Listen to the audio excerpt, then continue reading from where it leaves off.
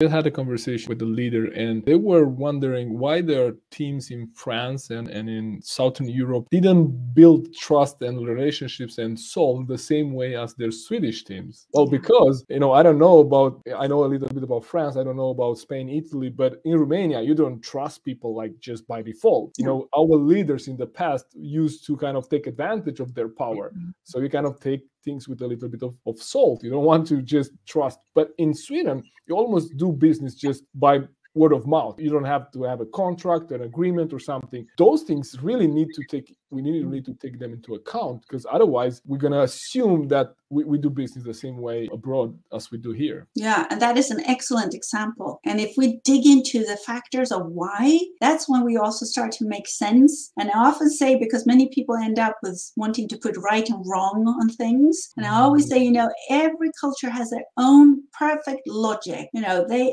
it has been shaped for good reasons. And so every culture makes sense. It's when they come together, they have different sense. And that's where we need to find the way to work fruitfully across